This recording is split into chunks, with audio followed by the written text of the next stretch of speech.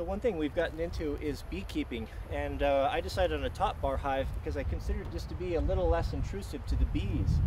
You know, conventional knowledge or logic has always been you need to wear a bee suit and smoke them, and I've um, kind of taken a holistic approach and and have been very fortunate. I've yet to be stung, but just being respectful and moving uh, uh, slowly and praying before I come down um, but uh, I've been working with the bees and, and been in and out of their hives and, and uh, as I said, I haven't had any trouble with them. They've been very kind and, and very gentle. When we designed this survival garden, you know, we knew that, that it was an important thing to make sure that, that all of these plants and all of these different fruits that we have, you know, get proper pollination or we wouldn't have any fruit at all. Um, if you look at what honeybees do for us or do for man, 70% of all the world's crops, of everything that man eats, is pollinated by honeybees. So if we did not have the honeybee, we would have no food for ourselves.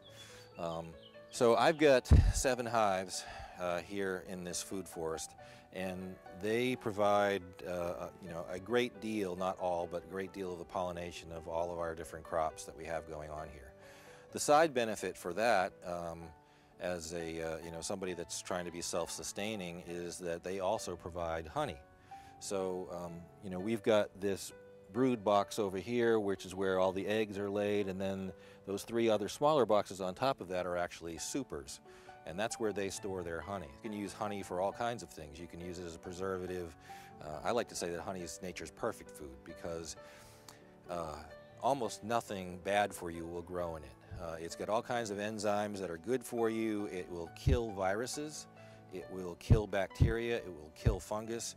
You can use it um, for external wounds, and there's been a lot of research that shows that, that honey applied to a wound will heal much faster than anything that man can create. Um, so any of the other ointments that you could get in the store don't even compare to honey.